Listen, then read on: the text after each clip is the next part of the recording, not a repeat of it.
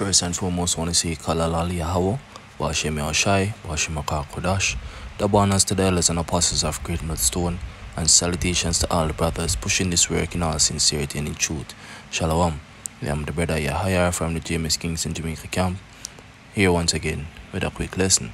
And as you can see on the screen, when you look, you can see it saying that the Gleaner reported a short while ago that Christopher Tufton was hit off his bicycle in a section of the corporate area. The health minister was taken to the hospital for treatment and did not sustain any life-threatening injuries, right? And these things would happen, you know, these are signs of judgment happening to these people because they're wicked. You know, the Heavenly Father I bring them judge, I bring him judgment slowly but surely. Sometimes them beliefs to them get with all of the tyranny and the atrocities where them commit upon the people. You know, because this one, this man is one of the main man them will push the the sticky wiki, you see me, the serpent juice upon the people, and there are multiple reports coming up right now, you know, across the world where the sticky wiki is having life-threatening side effects upon people. So this is just a small, small slap from Heavenly Father upon this man right now, you know, because a lot of people them them trusting in this man and them trusting in- trusting in what him do. But the Heavenly Father not asleep, man. And we as spiritual men we see the evil what them money I do. You know? A lot of people forget what this man say. I think that um in the parish of St. Elizabeth when the people them down there I say they oh them want water, them not have no water for beer, them not no water for cook. See me? Them have a lot of difficulties getting water. And this man say yo eh, eh, them fi take the vaccine and then them get the water. You know? You think I'm lying? Here's the evidence.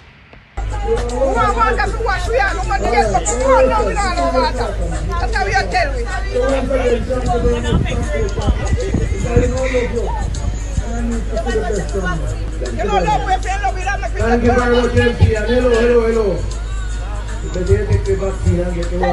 don't want no vaccine. There you have it. You know? So this man is, is a evil and wicked man. He man, he man one of the tyrant them in Jamaica. You know? And the Heavenly Father judgment them come slowly but surely. Scripture even said that. You see me? He said the book of Ecclesiasticus.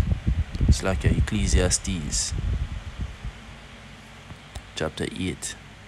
Start at verse